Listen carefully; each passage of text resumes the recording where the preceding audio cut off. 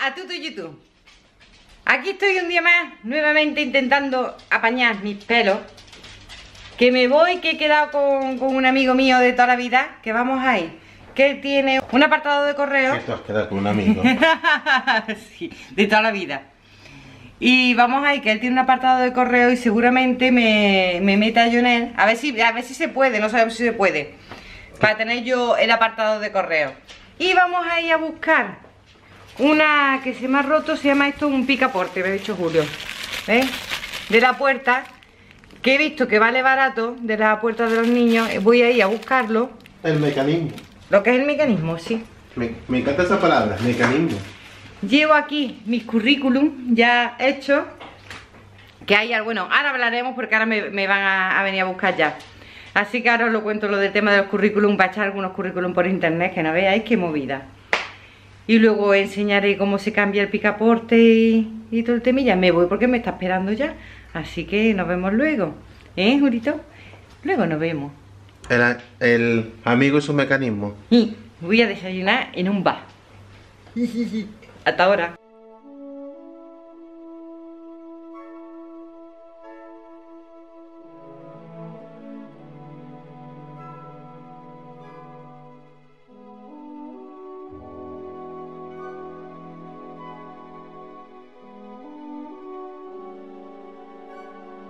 Bueno, pues ya estoy aquí en casa, como pensé, me he liado con Paquito, nos hemos liado porque nos encantan las herramientas, nos encantan las ferreterías, nos hemos metido en el aquí. No hemos metido, mm, bueno, en el aquí he comprado porque ahora os voy a enseñar, os la he enseñado antes, ¿no? Esta pieza y la hemos comprado en DM Brico, que también la abrían en el aquí, pero la hemos comprado otra ferretería que se llama DM Brico. Tengo aquí a los muchachos ya. Saludad, muchachos. Hey, buenas. Hoy lo he dejado encargado de la cocina. Me van a sorprender. Eh, yo aquí limpiando la casa, cocinando mi trailer se lía con otro. lo he dejado aquí. Hoy me van a sorprender con la comida. Y yo voy a subir porque voy a arreglar esta cerradura. Os voy a enseñar cómo se hace. Es súper fácil para que vosotros lo sepáis. Y mientras os voy a hablar de lo que he estado viendo en el World las televisiones como han cambiado hoy en día es increíble. He convencido a Paco para dejar allí apartada una de 4K de... Bueno, hemos estado viendo ordenadores, ¿cómo no? Que además os voy a ir pasando unas imágenes para que veáis los ordenadores portátiles que había. Lo que pasa es que, claro, es lo que decimos, yo necesito una memoria y una tarjeta gráfica que es muy alta y entonces ya se nos va de precio. Pero para que veáis más o menos lo que hay y como no, ahí estaba también Apple. Pero Apple, lo que no me gusta de Apple, me gusta que está muy bien para la edición de vídeo, pero lo que no me gusta es que te limita a tener todo ya después de Apple. No es un sistema abierto que es compatible con más cosas. Eso es lo que no me gusta de Apple, al igual que el precio, claro. Diseño y prestaciones para mí serían estupendos. Eh, entonces, pues lo que estaba comentando de las televisiones, increíble. Pero claro, habíamos visto al entrar una de 65 pulgadas. Es, es que se ven las imágenes con una claridad. Se veía hasta si tenía caspa la gente que estaba allí, de verdad, increíble. Pero al final encontramos una que era 4K, curva. Eh, os voy a poner las imágenes también para que la veáis. Que está en Walton. Nos dijeron que las placas eran las de Samsung tiene el mando, tiene hasta el botón de Netflix y YouTube. y claro, eran 55 pulgadas, 4K y un montón de conexiones. Entonces yo digo, hoy en día las tecnologías avanzan muy rápido y por mucho que tú te compres lo último, dentro de un año va a estar desfasado. Yo le he dicho a él, cómprate esta, lleva a casa, mírala allí, que allí es como realmente tú puedes ver. Y si no, pues siempre estás a tiempo de cambiarla. Pero con el precio de esta, se estuvo mirando la Xbox One. Eh, sí, esa es la que está mirando, que costaba 300 euros. Digo, es que, es que con el precio de la otra tele te compras esa tele y la consola y te sobra dinero y todo. Y llevas a tu mujer de crucero. Y se la lleva a, a, mi amiga Emi a Roma, que tiene mucha ganas mi amiga Emi de ir a Roma. Y le he dicho, te llevas a Emi a Roma. Bueno, pues vamos a hacer esto mientras que los chicos siguen con la cocina. Mira, esto era este sistema, ¿no? Estaba, la, esto que hace así, estaba mal. Entonces simplemente es quitar los embellecedores quitar los tornillos que aquí hay y quitar estos tornillos. Y ya sale la cerradura. Y queda tal que así. Bueno, aquí es que hice yo un apaño para noche, ¿lo veis? Para que pudiera abrir y cerrar la puerta. Pero esto queda así. Mira, una vez quitado los tornillos, simplemente es hacer así. Y ahora buscar un cajón de similares características. Yo en este caso lo encontré por internet que estaba muy barato. Pero al ver que era un precio estándar en internet estaba como 3 euros, lo he comprado 3 euros y pico. No es la misma marca. Y esto tiene un truco a la hora de comprarlo. Que me he dado cuenta que el chico lo ha hecho así. Si el pestillo va para el otro lado, simplemente hay que hacer esto. Se levanta esto de aquí y se gira. Hombre, que lo hizo aquí con un poquito de fuerza, pero vamos, que es sacar esto y esto, todos los sistemas hacen así, que se gira y queda esto en el otro lado, ¿vale? Por si la apertura es del otro lado. Efectivamente, nos encaja. Y ahora lo primero de todo vamos a poner estos tornillos. Estos tornillos son tipo Allen o Allen o algo de eso. Ahora no los veis porque no quiere enfocar. Pero bueno, ponéis unos tornillos. ¿Dónde dejar el otro tornillo? ¿Será posible que estaba yo enseñando el tornillo y ahora no encuentro el tornillo? ¿Dónde he soltado el tornillo? ¡Ah! Encontrado. Madre mía. Ahora cogemos la barrita esta que tiene que pasar por el cuadrado este. ¿Veis? Ahora lo pasamos por ahí. Mirad qué fácil es, ¿eh? ¿Lo veis? Ya está. Y ahora vamos a poner aquí el picaporte y lo vamos a atornillar. Cambiamos la cabeza. ¡Ay, qué destornilladores más chulos había allí en el Leroy! Que me vuelven loca a mí los destornilladores. Las cajitas, todo compacto. Cuando cambie de casa cambiaré de, de destornilladores. No sé si es esta cabeza, vamos a ver. Antes de atornillar voy a comprobar que funcione. Sí, súper suave. Y vamos a atornillar. Listo. Es muy importante que los tornillos queden bien embutidos porque si no el embellecedor ahora nos toparía. El embellecedor va solo así. Enroscado.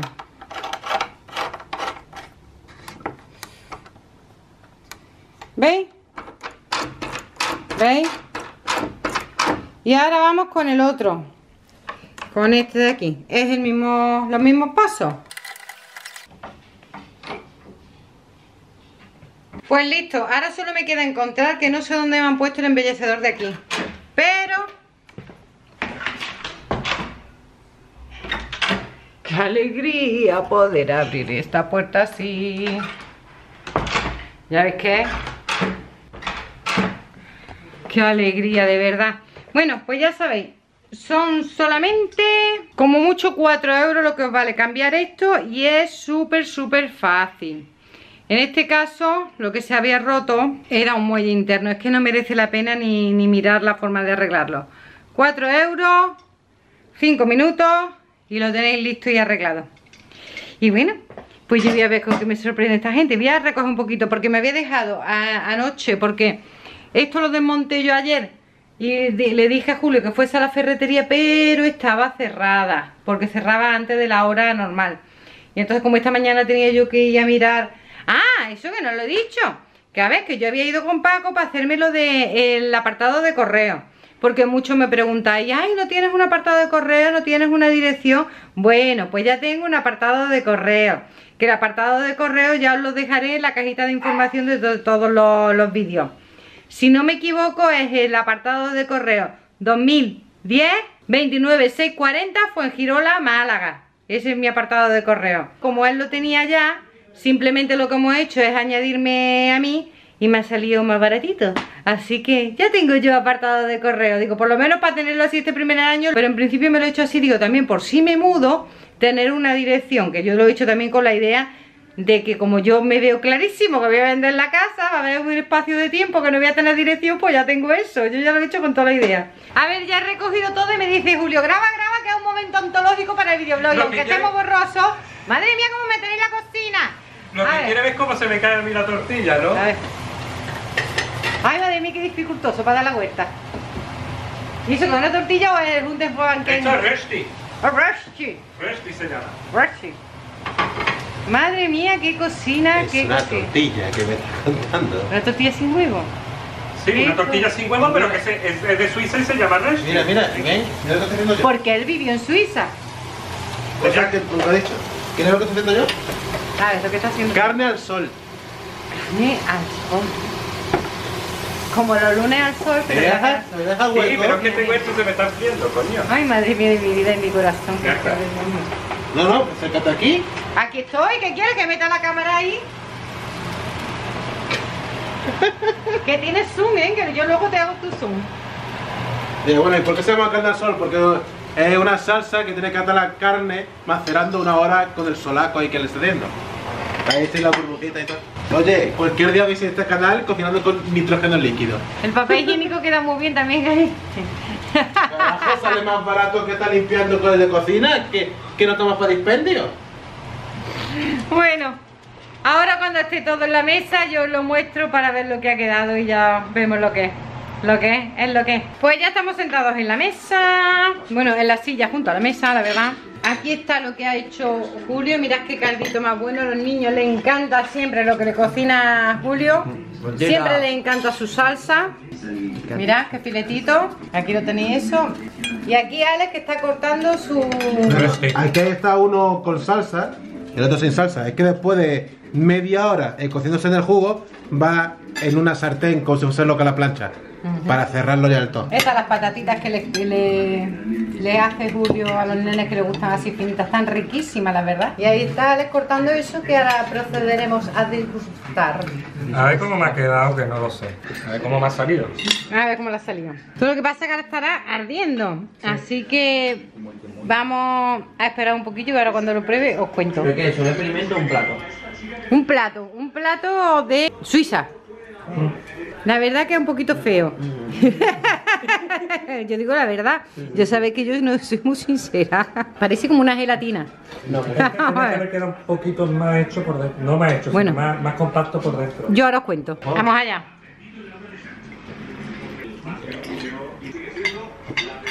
A ver, se puede comer, pero me sabe como algo de verdura y como la textura como si estuviera comiendo aloe vera, aloe vera empanado. ¿Con qué está hecho esto? Bastante mantequilla. La mantequilla, sal y pimienta, se le puede echar jamón, se le puede echar queso, se le puede echar cebolla. Lo que me ha quedado un poquito demasiado húmeda por dentro, tiene que quedar un pelín más seca, más seca por dentro y sobre todo muy crujiente por fuera. Donde se ponga la tortilla española. Eso, tortilla. No está malo, pero no es una cosa de decir que sí, que vas a ese país, lo pruebas y dices, vale. Que seguro que le sale mucho mejor que a mí, ¿eh? Sí, pero que tampoco no es una cosa que diga, wow, ¿no?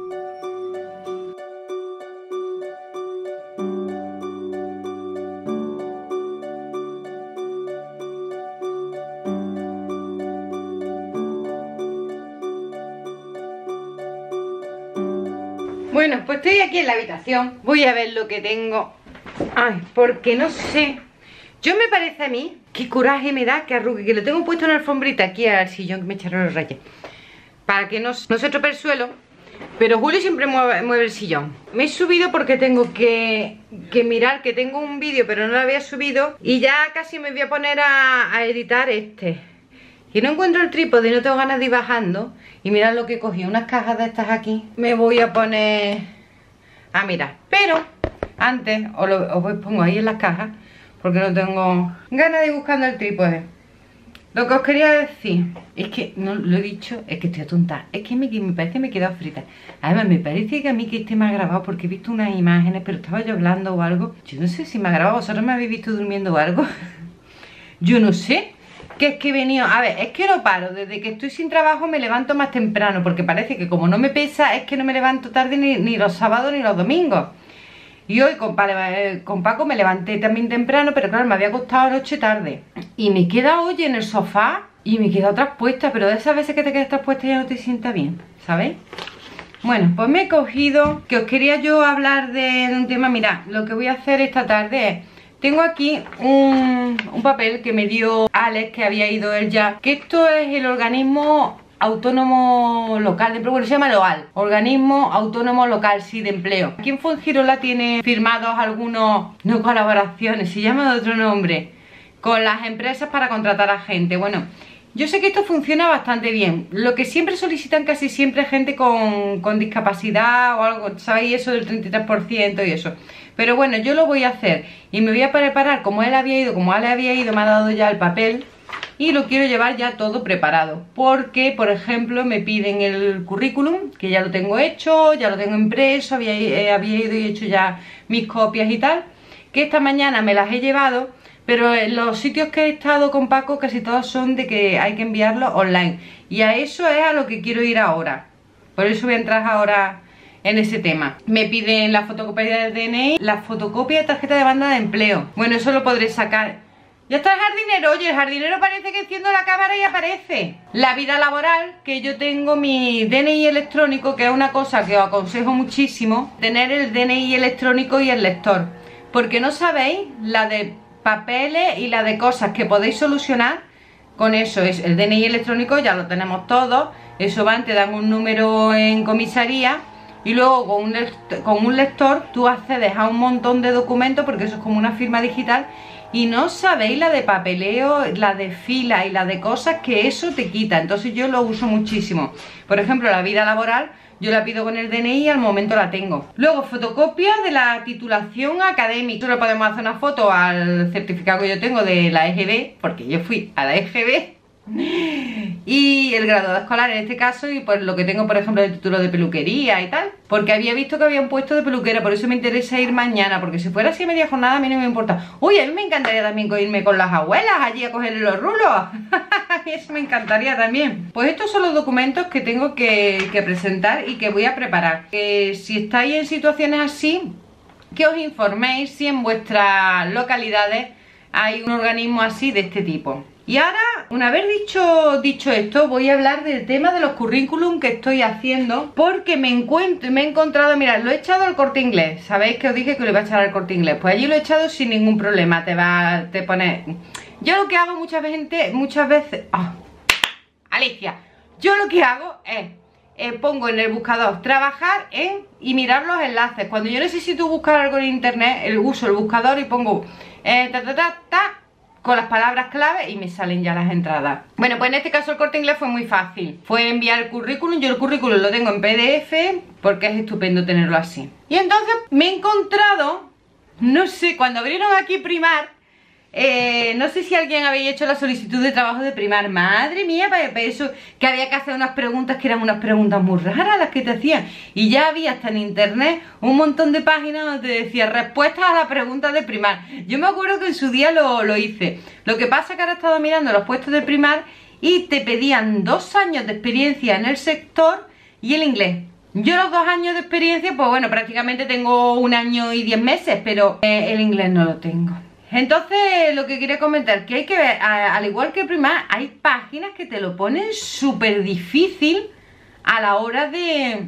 Esperarse que se me está apagando esto todo el rato y se me va la luz. Eh, Pues me metí en Carrefour porque ahora el centro comercial donde he estado esta mañana. Allí eh, lo que era Eroski lo están poniendo Carrefour. Digo, bueno, pues voy a echarlo al Carrefour porque reponer cajas, todo eso ya también sé Pongo porque esto es online yo creo que es que esto lo hacen para que la gente se canse y no eche los, currículum.